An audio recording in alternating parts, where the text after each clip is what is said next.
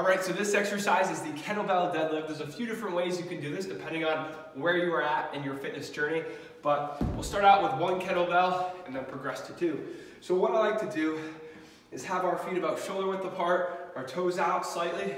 We're gonna hold the kettlebell in front of us, just like this, and then we'll go ahead and just set it down.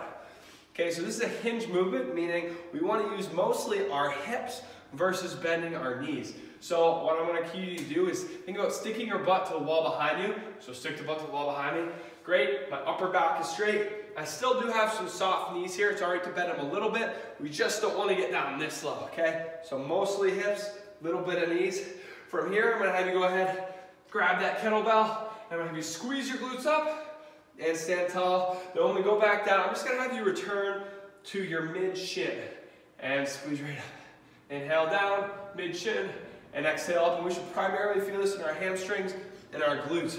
Now, maybe you have a kettlebell here and it's just too easy. You don't have any heavier ones.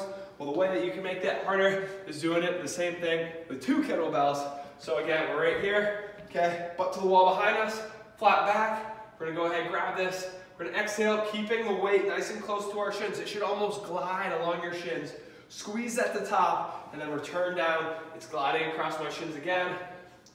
I'm exhaling up and inhaling down. So that's how you do a kettlebell deadlift.